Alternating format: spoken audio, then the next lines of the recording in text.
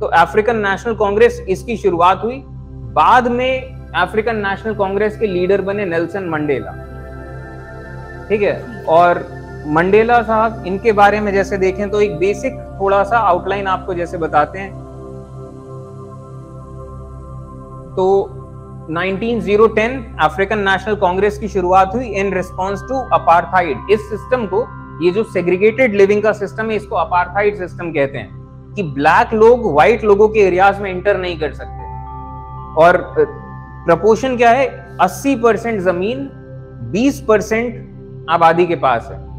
और बची हुई 20 परसेंट ज़मीन, वो उसमें ब्लैक लोग भी हैं, कलर्ड भी हैं, एशियंस भी हैं, और भी जो इधर उधर से लोग हैं, वो सब लोगों के पास है। तो ये सीन है। अब इसमें सेग्रीगेशन जब हो रहा है तो आपकी ज़िंदगी कैसे टर्न आउट करेगी, ये डिपेंड करता है आपके स्किन कलर पे। आप किस स्कूल में जाएँगे आपको कैसी जॉब मिलेगी आप बिज़नेस करेंगे कहाँ पे कर पाएँगे किस एरिया में? क्योंकि हर जगह के हर रेस के जगहें अलॉटेड थी और उस जगह से आप बाहर नहीं जा सकते। और इसके बाद जो इन्होंने ये जो काम किया कि ब्लैक रूरल पॉपुलेशन को इन्होंने छोटे छोटे कंटेनमेंट एरियाज़ में डाला ये एक बहुत बड़ा कह लीजिए बहुत ही बुरा इन्होंने काम किया जिसकी वजह से और भी ज़्यादा अप्रोर हुआ। 1940s तक आते आते मंडेला ने ज्वाइन किया। ये मंडेला का पुराना लाइफ बाद में कभी डिस्कस करेंगे। यहाँ स्टूडेंट के तौर पे पढ़ाई लिखाई करने के बाद इन्होंने यूथ विंग ज्वाइन किया अफ्रीकन नेशनल कांग्रेस का। और ये ऑर्गेनाइजेशन में बहुत अच्छे थे और धीमे धीमे ये अफ्रीकन नेशनल कांग्रेस में ऊंचाइयों पे गए। और यहाँ पे जैसे हमें दिख रहा है कि ये इन्होंने एक मूवमेंट लीड किया कि ये जो आईडी कार्ड्स होते हैं आईडी कार्ड्स को जलाएँगे। तो जो गांधी ने शुरुआत करी थी, कि जैसे ये हुआ था कि सारे इंडियंस को अपना ये रखना आई कार्ड बनाना है तो ये मतलब आई कार्ड हमेशा रखने हैं। तो आईडीज बनाने का तो कोई ऐसा इशू नहीं, लेकिन आप कहो कि हमेशा रखो और कभी भी दिखाना पड़े मतलब आप कोई अपराधी है क्या? तो गांधी ने जो किया था कि हम आईडीज जला रहे हैं अपनी, वही उसी तरीके से यहाँ पे ये चीज़ हुई। 1960 में शार्कविल मैसेकर्स हुए, सैकड़ों लोग मारे गए, और आज भी इनकी कब्रें इस तरीके से हैं। कि जो प्रोटेस्ट मारे गए, इसके चलते जो अफ्रीकन नेशनल कांग्रेस है और भी जो ब्लैक लोग हैं, इन्होंने बॉम्बिंग शुरू कर दी गवर्नमेंट ऑफ़िस की। अटैक करना शुरू कर दिया व्हाइट लोगों पे। क्योंकि रेजिस्टेंस आपको करना है तो एक्टिव मतलब एक्टिव पैसिव कहना क्या? वॉयलेंट नॉन वॉयलेंट आप कहें तो वॉयलेंट मेथड्स भी लोग करने लगे और जब वॉयलेंट मेथड्स का यूज़ करने लगे तो सरकार और ज़्यादा वॉयलेंट हो जाती है। तो टैंक लेके घुस जा रहे हैं, ब्लैक हाउस होल्ड में हज़ारों लोगों को गिरफ़्तार कर रहे हैं टॉर्चर कर रहे हैं, ये सब कुछ हो रहा है। और इसके नतीजे में ये लोग भी कर रहे हैं। तो ये एक तरीके से लड़ाई पूरी छिड़ी हुई है। 1962 में मंडेला को होता है उम्र कैद। और इसके बाद उम्र कैद में इनको खूब हार्ड लेबर की जॉब मतलब काम दिया गया। जेल में इनसे पत्थर तोड़वाए जाते थे और आइसोलेशन की लाइफ किसी से मिलने नहीं दिया गया बीसियों साल। और जब ये जेल में थे तो फ्री मंडेला कैंपेन्स चले, साउथ अफ्रीका में और बाकी दुनिया के हिस्सों में भी। इसके बाद जैसे जैसे सरकार पे दबाव पड़ रहा था, फ्री नेल्सन मंडेला, की सरकार ने सोचा था कि मतलब लोग भूल जाएँगे नेल्सन मंडेला को। लोगों ने इनको ज़िंदा रखा अपनी यादों में और पूरे मूवमेंट का बेस बना दिया कि आप पॉलिटिकल प्रिजनर्स को छोड़िए, एंड फ्री नेल्सन मंडेला। तो ये जेल में थे 20 साल इनफैक्ट पूरा टाइम देखे तो 27 साल जेल में थे। लगातार 27 साल। कुछ नहीं किया। मतलब उस मूवमेंट के लिए। लेकिन इनके नाम पे इतना कुछ होते रहा यहाँ पे कि हमारे लीडर को जेल में आपने डाल रखा है। और जब ये बाहर आए, आज़ादी मिल चुकी थी। मतलब मोर और लेस जब मिलने वाली थी, तभी जेल से बाहर इनको छोड़ा गया। खैर, इनकी महानता के कई सारे एस्पेक्ट्स हैं। सरकार ने इनको ऑफ़र दिया कि हम तुम्हें छोड़ देंगे। इनको जेल में रहे हुए कब दस बारह साल हुए थे, सरकार ने ऑफ़र दिया कि हम तुम्हें रिहा कर देते हैं। सोचिए इस बीच इनकी, ये मदर की डेथ हुई, इनके फैमिली में और भी एक दो डेथ हुई, ना इनको जाने दिया किसी से मिलने दिया गया, ना ही किसी घर वालों को इनसे मिलने दिया गया। ये इतने बुरे हाल इनके कर रखे थे। इनको कहा गया कि हम छोड़ने तैयार हैं। बस इतनी सी बात है कि ये जो हमने ब्लैक हाउस होल्ड में ये जो लोगों को डाल दिया है, आप इसको सपोर्ट करो हाँ ये ठीक हुआ। इन्होंने मना कर दिया कि मुझे जेल में डाले रखो, मुझे नहीं आना बाहर। और ये सिंबल ऑफ़ फ्रीडम बन गए इस तरीके से। और 1970s का टाइम आता है गवर्नमेंट रिप्रेशन और बढ़ जाता है, क्योंकि ब्लैक्स और ज़्यादा लड़ाई कर रहे थे।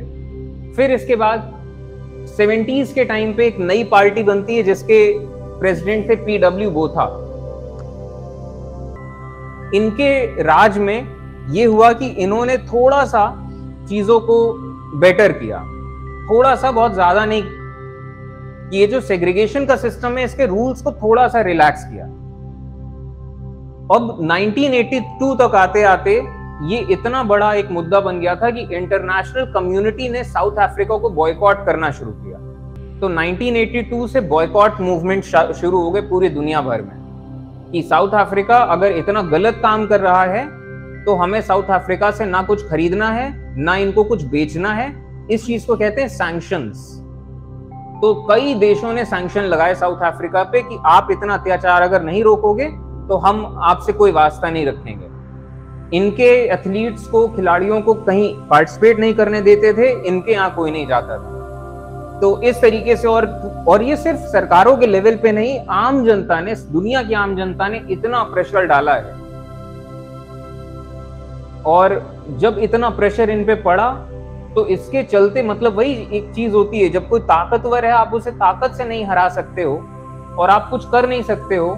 दूर दराज के देशों में बैठ के आप साउथ अफ्रीका जाके वहाँ कुछ नहीं कर सकते तो आप शर्मिंदा तो कर सकते हो।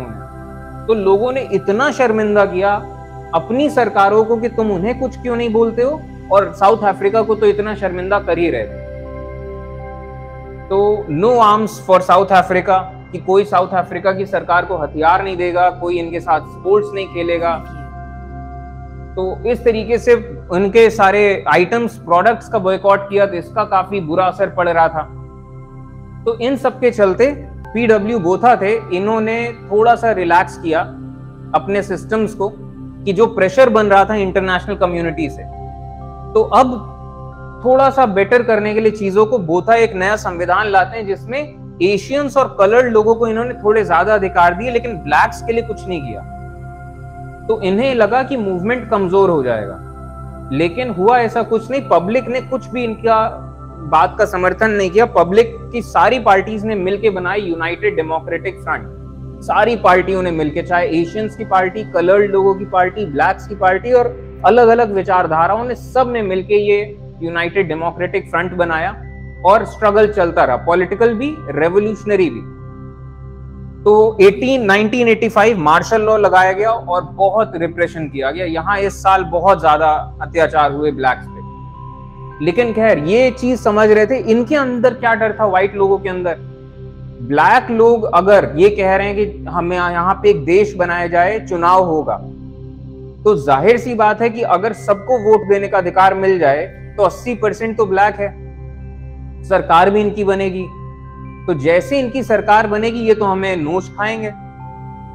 हमारी जमीनें ले लेंगे, हमारे बिजनेसेस लेंगे, हमें नोच खाएँगे लोग। वो वो एक डर था इन सब के अंदर। तो चाहे कुछ भी करना पड़े, इनको चाहे जितना मारना पड़े, करो। लेकिन ये पावर में आ गए तो ये हमें नोच खाएँगे। तो ये डर इनके अंदर बैठा हुआ था।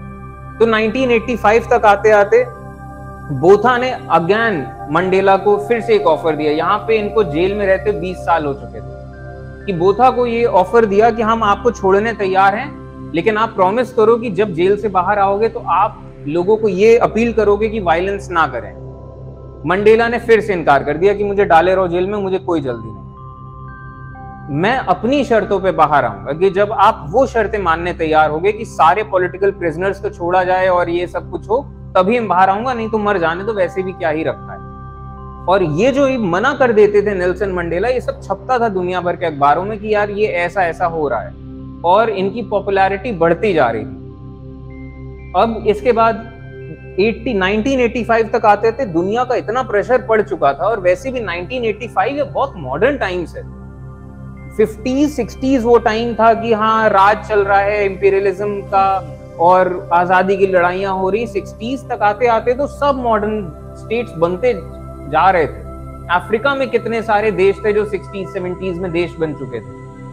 तो एटीज तो काफ़ी मॉडर्न टाइम था कि मतलब यहाँ दुनिया कहने लगी थी, यार, किस दुनिया में तुम अभी भी देश को रखा है तुमने अपने? तो खैर, इनकी बोथा की पार्टी ने बोथा को हटाया, इनकी जगह एक दूसरे आदमी को लाया जाए, जिनका नाम था डी क्लर्क। ये थोड़े से लिबरल ख्याल के आदमी थे और ये समझते थे कि हवाएँ किस तरफ़ चल रही हैं और बदलाव आ रहा है, हम बदलाव को बहुत देर तक नहीं रोक पाएँगे। और अगर हम लड़ते रहे तो ये पक्का नोच खाएँगे, ये बात तो तय ठीक है? ठीक है तो इन्हें डी क्लर्क का ये था कि अगर हम इनसे लड़ते रहे तो ये पक्का नोच खाएँगे। तो कम से कम इन्हें जो देना इनके साथ सेटलमेंट रिजॉल्व कर लो।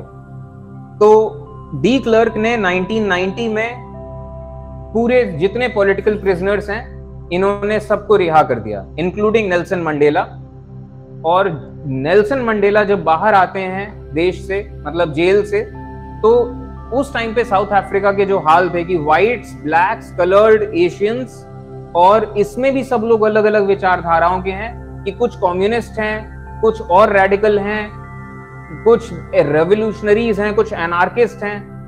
तो सबको ये साथ लाना, एक साथ एक टेबल पे और ये कहना कि नहीं, हमें साथ में काम करना, बहुत बड़ा रोल था इनका। मंडेला नहीं होते तो कोई नहीं कर पाता। इतना खून खराबा होता कि बहुत ही बुरे हाल होते साउथ अफ्रीका के। इतना खून खराबा हो जाता। लेकिन खैर, मंडेला की वजह से नेशन में स्टेबिलिटी रहा। खून खराबा ज़्यादा हुआ नहीं। 1993 में इन्होंने डिसाइड किया कि हम पहले फ्री इलेक्शंस करवाएँगे साउथ अफ्रीका में और इस सब के चलते नोबेल प्राइज दिया गया मंडेला और क्लर्क। अब चुनाव होते हैं। 1994 अफ्रीकन नेशनल कांग्रेस को मेजोरिटी मिलती है। मंडेला बनते हैं प्रेसिडेंट और अपना वाइस प्रेसिडेंट ही बनाते हैं डी क्लर्क को। और ये दिखाने का एक तरीका था कि हमें लड़ाई नहीं करनी है सिर्फ़, हमें एक्चुअली सॉल्यूशंस पे काम करना है।